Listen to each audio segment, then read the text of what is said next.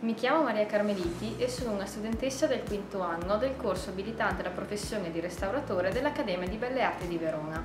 Sto svolgendo un tirocinio formativo presso la Galleria d'Arte Moderna Achille Forti e ho l'occasione di restaurare, sotto la guida e l'occhio vigile della docente restauratrice delle Trazzi, la scultura in gesso raffigurante Beatrice realizzata da Ugo Zannoni. La particolarità di questa esperienza è che il cantiere di restauro è stato allestito all'interno delle sale espositive della galleria, in modo che i visitatori possano seguire le varie fasi operative. Inizialmente, sapere di lavorare sotto gli occhi di tante persone ha messo in soggezione sia me che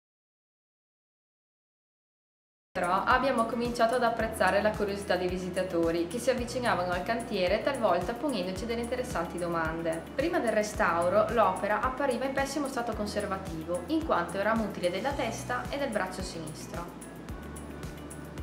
Inoltre, il cospicuo deposito superficiale, specialmente sul retro, impediva di apprezzare i dettagli e le volumetrie realizzate dall'artista. Erano invece evidenti le scritte e gli imbrattamenti vandalici presenti su tutta la superficie. Il gesso, materiale di cui è costituita l'opera in oggetto, è utilizzato fin dall'antichità, data la sua disponibilità in natura perché è economico, leggero e non presenta fenomeni di contrazione durante le fasi di asciugatura, mantenendo così inalterati i volumi delle sculture nel tempo.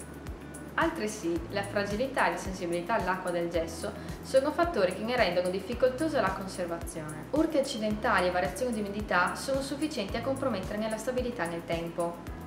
Queste caratteristiche rendono complesse anche le operazioni di pulitura, in quanto l'igroscopicità e la solubilità di questo sale richiedono limitati apporti d'acqua, perché potrebbero comprometterne le proprietà meccaniche infragilendolo. Quindi gli interventi di restauro hanno previsto accurate operazioni di dry cleaning, seguite da una pulitura a base acquosa addizionata al lager, un gellificante naturale completamente atossico, col fine di mantenere l'acqua in superficie evitando di compromettere le proprietà meccaniche del gesso.